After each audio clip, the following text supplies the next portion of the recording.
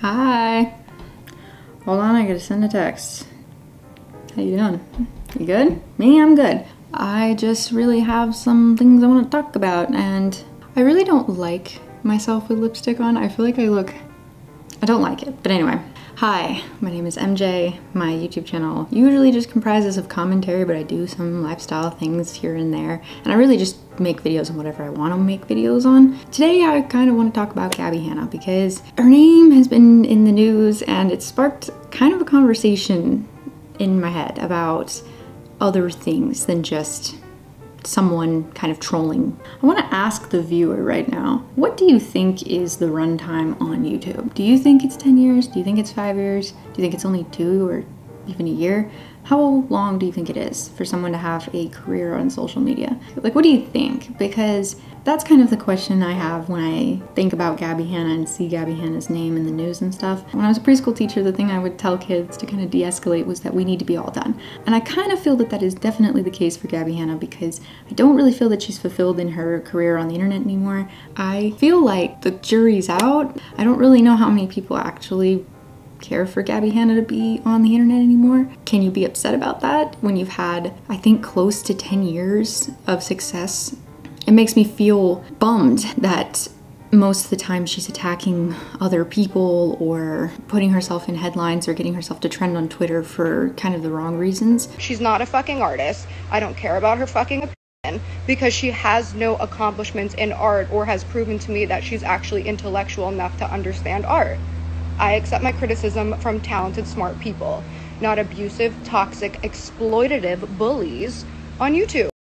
I wish that there was more gratefulness on Gabbie's part for the career that she has had on the internet, for the fans that she's amassed, for the support that she's been given. That kind of stuff bothers me because so many people would do anything to have the privilege that Gabbie has, to have the opportunity that she has, to have a career on the internet, doing what you love and being able to pursue your passions and hobbies and turning it into a full time career. So many people would do anything to have that opportunity, and I feel like Gabbie's just kind of like throwing it back in everyone's faces, including her own, because she's not happy anymore. There are so many things that she can go and do that aren't connected to YouTube she could do charity work, she could volunteer, she could work for a nonprofit, she could work for another company. I know that she's a graduate, I think she has a degree in psychology. Maybe she wants to go and use that degree in a different kind of field. YouTube doesn't exactly utilize her degree in super directly or anything, so I feel like it would be great for Gabbie to go and do a job off the internet. Um, because I think when you're on the internet for so long, you forget that there are other jobs, that your life does not begin and end on YouTube. And while she's in the headlines every other week, every other day, it seems like I think there is a point you where you have like I said been on the internet for x amount of time and maybe your viewership's dropping. I think Gabbie's has dropped you know a fair bit. She has I think 5.7 million subscribers on YouTube, but she doesn't really get the same kind of viewership for the number of subscribers that she has on her channel. And I know YouTube can be very numbers orientated, but it feels like her audience just isn't really where it used to be. And that's not a bad thing either. People will grow up. It's just kind of the natural progression of things where you don't have the same audience that you once had. And instead of kind of bowing out with grace, she is just doing whatever she can to still stay relevant and it includes dragging other people down and in some cases attacking those people, specifically smaller content creators when they haven't done anything wrong. Uh, I know you guys probably know what I'm talking about. You can Google Gabbie Hanna and Rachel Oates and form your own opinion on it, but Rachel was just making, had a criticism, critiqued Gabbie's poetry books, and Gabbie just lost it on her despite sending the poetry book to Rachel to review. It feels like greed. Siren.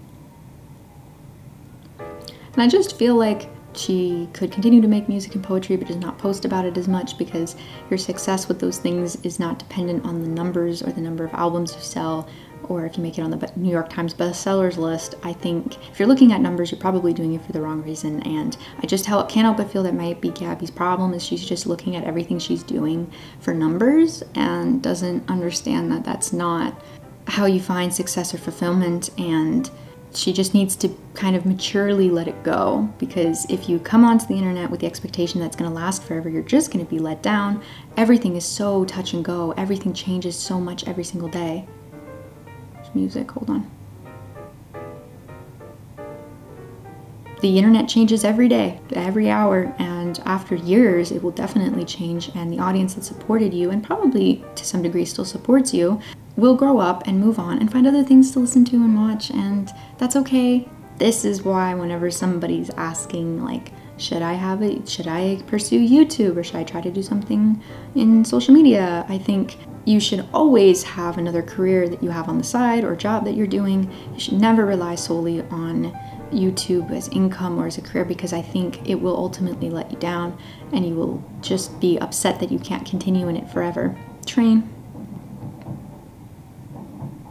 it's it's not even like giving up or anything. Like it's not giving up for Gabbie to move on. But I can tell that that's not really something she seems like she wants to do. It sounds like she's getting ready to gear up and release some kind of YouTube series or some kind of new big project and she's trying to create as much publicity around it as possible so that people will be incentivized to watch. But the internet has no patience for anybody. And if you're really to come on and say that people who give you criticism are narcissistic abusers, it's definitely time for you to take a break from the internet it's not always nice to hear, but like your critics are sometimes your biggest supporters, and they're the people who want to see you do the best. And I know some of the people who have given Hanna, Gabbie, Gabbie Hanna criticism in the past have been people who are also vocal supporters of her. I know Angelika Oles has said she wishes her nothing but the best. I know that Rachel Oates has said that she hopes that Gabbie will take criticism to improve her poetry in the future.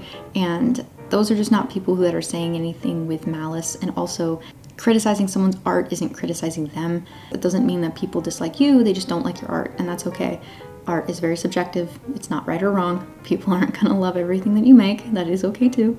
It's mostly about how you feel about it yourself and if you're proud of it and feels that there is success to be had in what you're doing. I'm also curious about people's opinions on censorship because it feels like a lot of what Gabbie is trying to do is censorship and saying people can't say certain things about her or certain things aren't true and it's not okay for people to criticize her, which is unfortunate because you can't tell people what they can and cannot do on the internet, especially when it's it's not a hateful thing, you know. People are allowed to comment on things on the internet. especially if they're doing it in a way that's just critical, it's not hateful or anything. Gabbie may feel that she is free to also comment and say whatever she wants, but I've seen her tone and her language and the way that she's approaching certain topics turn extremely aggressive, very nasty, and take a serious bullying tone that is just very sad and kind of scary to watch. She's not a fucking artist. I don't care about her fucking opinion. There's just no reason for it when you're that big of a sort of influencer, when you have that many subscribers and that many people following you, I just don't think it's appropriate or responsible to weaponize your audience against people, to go to your audience to make you feel a certain way or to validate your bad behaviors. Those are not responsible things at all to do with your audience and your influence. Don't think that she's being responsible with it anymore. And when it starts to become something like this and you're using it in a negative way, it is time to be all done. I think the internet can be a very toxic place. And for Gabbie, I think it's an extremely toxic place right now now. And yeah, the tirades and the screaming and the yelling just doesn't look very good. You don't need to defend yourself against every criticism that you receive. I don't think it's right to hate people, and I think that the hate that Gabbie receives for her appearance isn't okay. That's very wrong. But not everybody is there for critiquing your appearance. Like they're not, they're just critiquing things that you do. I get told that a lot on my channel. You can't talk about this. You can't say this. You can't say that. And as long as it's not being said in a hateful way, what's the problem with having an opinion on something, sharing your thoughts on something? It's like who decides what can and cannot be talked about on the internet? Who decides? Gabbie Hanna believes that she can censor people, that she can decide who says what at what time and when. That's just not how it works. And you have to be comfortable with people talking about you because that's going to happen when you're in the public forum and the public domain. People will pick up and talk about you and your actions and the things that you do. And I do think that Gabbie's burnt out on it and just needs to take time completely away. I think she should move on with something else that's going to fulfill her in her life. Yeah, that's kind of my two cents. I Hope you guys enjoyed. But yeah, this isn't really a typical, I'm going to analyze everything that Gabbie Hanna has done and said and not a tea or drama channel, just giving my opinion on the situation. And I'd like to hear people's thoughts because this feels very much like the end of someone's career on YouTube and instead of them accepting it, they're kind of fighting it actively and everybody gets let go from a job, everybody moves on and finds a different career it's very healthy and normal to do that, especially after like 10 years or whatever. And if it stops being fun, you shouldn't probably do it anymore. It's just not worth it. Um, but yeah, uh, that's my opinion on the situation. I hope you guys enjoyed. Thank you for watching. Thank you for supporting. I really appreciate I really do appreciate it. It's so cool to upload something and have people see it and give their opinion and be able to consume it and watch it. And it's something that I created. It's so cool. I don't even, it, it could be on a small scale or a big scale. To me, it is just so fun that I get to do that. And I really appreciate that you guys watch my stuff. And yeah, thanks for watching. Bye.